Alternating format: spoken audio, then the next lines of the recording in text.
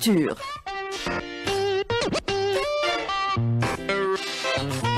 Elle comment vous dit ça bonjour, va Quand elle vous dit bonjour, c'est qu'elle est venue avec plein d'informations culturelles. Oui, Linda parce que je suis contente de venir et d'annoncer euh, des bonnes Linda. nouvelles. Oui. Bonjour Fatima. Alors, vous allez nous parler de beaucoup de choses, de théâtre, de cinéma, de bande dessinée Ah et oui, d'exposition. bah, eh ben, écoutez, euh, les, les bulles sont au rendez-vous à partir d'aujourd'hui au niveau de, de l'office euh, donc Riyad El Fath, l'esplanade de Riyad El Fath va être euh, donc aujourd'hui c'est l'inauguration en fait de, de ce rendez-vous et puis donc à partir de demain le week-end vous allez profiter au maximum du week-end.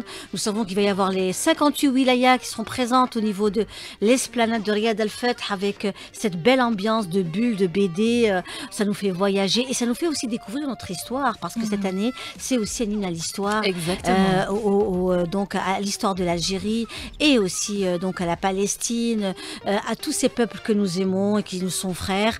Donc ce sera vraiment un très très beau rendez-vous, un rendez-vous à ne pas rater mes amis. Et puis, euh, je voulais Si. rebondir Oui, oui, aussi, Linda. euh, Fatima, par rapport à ce mois, le mois d'octobre, le mois rose. Vous savez que dans nos émissions, hein, nous recevons beaucoup de femmes qui ont été atteintes du cancer du sein et elles se sont recyclées. C'est comme une chrysalide, vous savez, comme un phénomène du papillon.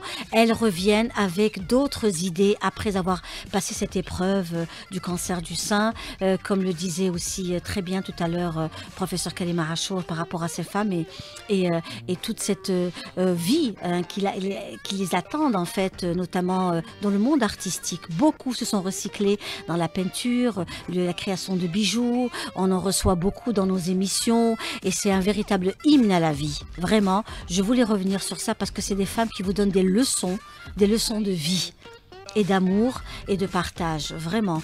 Donc, euh, je, je ferme la parenthèse par rapport à. Et c'est à magnifique ce ce que vous venez de dire, euh, Linda Tamdrari. D'ailleurs, tout à l'heure, Maya Elkins nous a proposé un reportage d'une photographe qui a été atteinte du cancer Mhm. du sein et qui, après euh, euh, son traitement, a fait une exposition à travers les différentes étapes par Oui, lesquelles elle oui, est oui, passée de chimiothérapie, Mhm. etc. Donc, euh, un bon message d'espoir qu'on complètement, ce matin. vraiment de- des messages d'espoir de toutes ces femmes qui se sont, qui ont donné vie à une autre vie, à leur propre vie, à savoir euh, des vies euh, d'artistes, Mhm. souvent d'artistes ou d'écrivaines.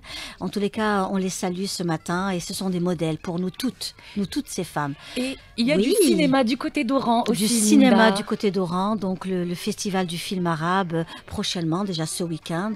Et, euh, et donc ça va être un moment très très très fort. Oran abritera le festival du film arabe. Euh, nous allons être présents, bien entendu. La chaîne 3 est présente à tous les, les événements euh, Et puis nous avons aussi, euh, à partir du 10 octobre, le festival international du théâtre international. Ça c'est aussi un superbe moment euh, qui se déroule au niveau de Béjaïa. Voilà, tout à fait. Béjaïa, euh, qui, euh, qui a assez abrité aussi et, et qui s'est organisé comme toutes les régions d'Algérie. Donc, ce sont de très très bons moments. Donc il faut sortir, Linda, il faut sortir. il faut Absolument, les vraiment, j'invite, j'invite vraiment les parents, cette rentrée sociale et, et éducative, à sortir, à aller dans les salles sombres, c'est-à-dire les salles de cinéma, faire découvrir aux enfants. Nous avons des salles de cinéma ouvertes aujourd'hui avec des projections de films, que ce soit ici au niveau de la capitale. Et il y en a quelques-unes, il ne faut pas dire aussi que c'est aussi important que ceux, celles que nous avons Mm. dans la capitale, mais elles existent aussi ailleurs. Il y a aussi des ciné-clubs euh, qui poussent comme des champignons dans certaines wilayas euh, euh, d'Algérie. C'est vrai, c'est vraiment. devenu un nouveau concept euh, qui est en train d'apparaître comme ça pour habituer les gens à Tout sortir et aller ce dans sont les des, salles. des, des passionnés de, Oui. de, de- de cinéma. Puis vous avez aussi le théâtre, le théâtre qui est une, une excellente thérapie de vie. Hein, et puis voir et découvrir des personnes sur scène en présentiel euh, pour un enfant ou pour un adulte, c'est un véritable émerveillement. Donc euh, et puis aussi relire des textes et, vivre des pièces de théâtre, euh, les avoir apprises et les voir sur scène, c'est aussi un, monde féerique et magique. On passe aussi au recyclage des objets. Il y a actuellement la galerie Hella ici sur Alger qui abrite donc, qui reçoit en son sein une bonne, une bonne vingtaine d'artistes qui sont dans le recycle art. Mais vraiment, ce sont de véritables chefs-d'œuvre. Mm. Il faut absolument. Allez les voir. Est-ce que vous allez de temps en temps dans les galeries euh, Bien Fatima sûr, voilà, bien voilà. sûr. Donc je sais D'ailleurs, que vous êtes une grâce aux informations que vous donnez aussi. Vous êtes une passionnée d'art, Oui. et je le sais, et passionnée de musique et, et de tout ce qui va dans le monde donc euh, de la scène. Et je vous invite vraiment à aller euh, voir cette magnifique exposition. Je salue tous ces artistes courageux.